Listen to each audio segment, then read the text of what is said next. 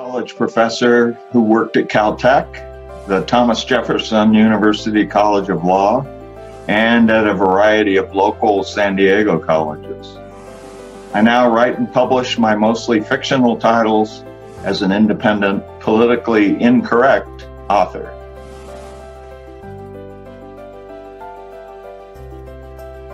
I believe it's, you know, it's the present climate of mistrust and hatred toward immigrants and the fear of women as independent and sexual beings.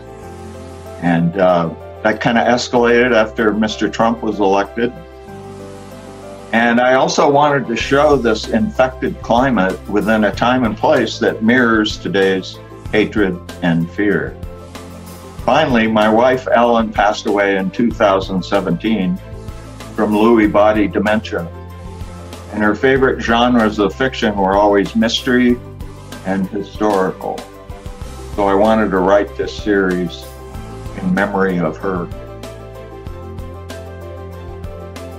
Back in history, the militant Manchu in China made a profitable deal with the wealthy elite in the United States to provide cheap, uneducated labor to build the railroads and to develop California after the gold rush years of the 1850s.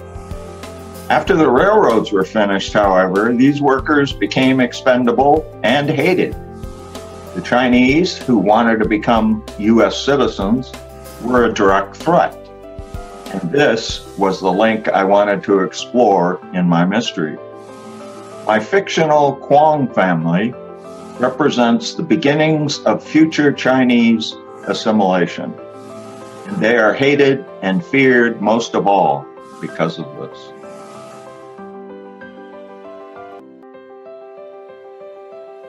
Clara was a feminist before there was a feminist movement. She won the legal rights of California women to attend law school and to work at any job they were qualified to work at despite not being able to attend law school herself because she had to work to support her five children, she was the first woman admitted to the California bar. She later established the idea for and the reality of the first California Public Defender's Office. The PDO today defends the indigent and outcasts of society, which is paid for completely by the government. Sadly, and perhaps ironically, her years of tireless work to help the poor and to establish female independence ended in her death in Los Angeles in 1934 without a penny to her name.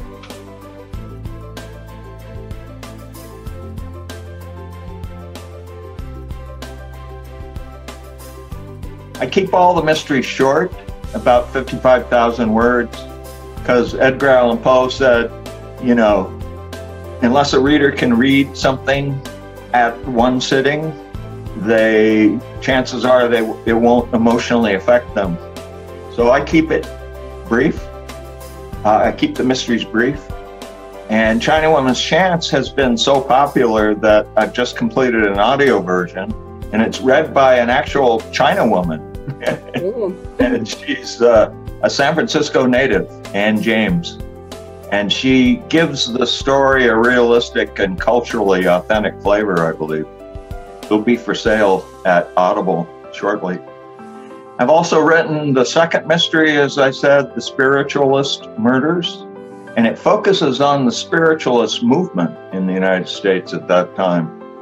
And this movement gave women the right to speak about feminist concerns under the cloak of spirituality. In this instance, a male spiritualist or mesmerist, as they were called, takes advantage of the many sexually and emotionally abused wealthy women in order to make a profit. These women are being drugged and hypnotized to kill their husbands. And Clara Foltz and her law friend, Laura DeForce Gordon, must join together to solve the mystery of who this mysterious person is. And the climax takes place inside the famous Winchester House in San Jose in 1886. I don't want to brag, but I think I used the setting very well to end my. So my third mystery is up, and I've got an idea of what I want to do.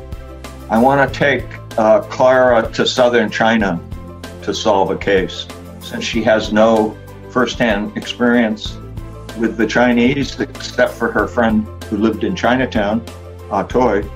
And so I want my readers to experience the 1880 Manchu uh, dynasty, um, you know, and plus the mystery, of course.